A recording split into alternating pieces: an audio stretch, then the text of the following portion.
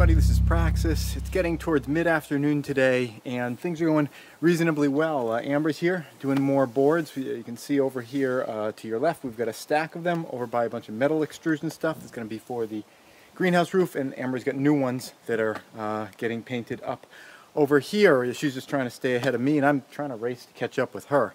Uh, what I've been working on today is uh, getting foam on the last uh, unfoamed wall of the house and it's going pretty well. I've got everything done all the way up to here. There's just like maybe one and a half square feet of foam in here uh, that I, uh, you know, I need to finish up with.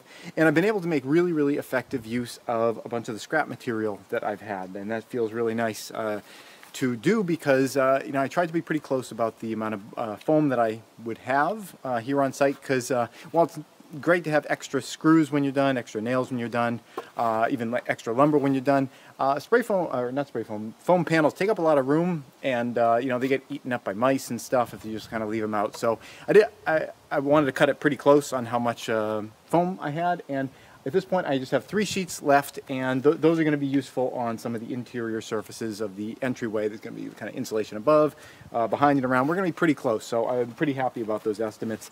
Uh, this uh, board is going to be on the bottom, right over here. I'm just about to put this up. Uh, goes in just like that.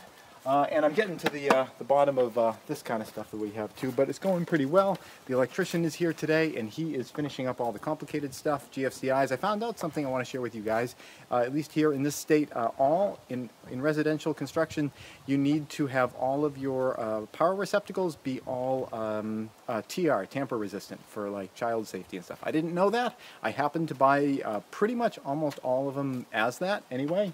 Uh, but I learned that today and I want to share that with you guys. At least in my specific area, that's the way you have to do it. Uh, so I'm going to see if I can finish this up today and then tomorrow it's going to be wall boards and then after that we get some rain. That's it. Thanks for watching.